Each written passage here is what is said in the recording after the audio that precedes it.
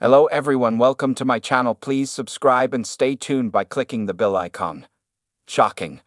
Betsy's sinister knife threat rocks Coronation Street. Residents traumatized.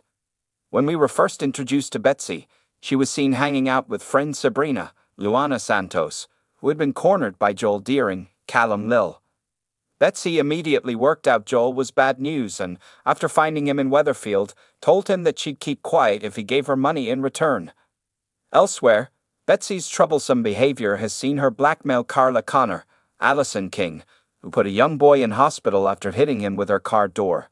Betsy told Carla that she'll keep quiet and stop her going to prison if she gave her a summer job in return, and it worked. Coming up, Lauren Bolton, Cait Fitton, deals with the aftermath of her early labor as her little boy lies in an incubator. She's interrupted, unfortunately, due to the arrival of Swain, who is intent on asking Lauren some questions. Meanwhile, Betsy reminds Joel how he threw her out of his car in the middle of a rough estate, and he owes her, which leaves him seething. When Betsy heads back to Weatherfield, new mate Mason Radcliffe, Luca Toolan, updates her on his new job at Speed Daal.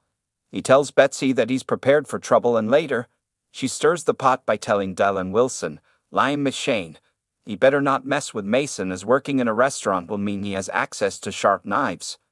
In a week, Betsy admits to Mason that she told Dylan he carries a knife. Annoyed, Mason asserts he can fight his own battles. When Dylan later finds Mason at the precinct, he fears trouble is brewing. What will happen next? And will Betsy regret getting involved with Mason? If you liked the video, don't forget to like, comment, and share.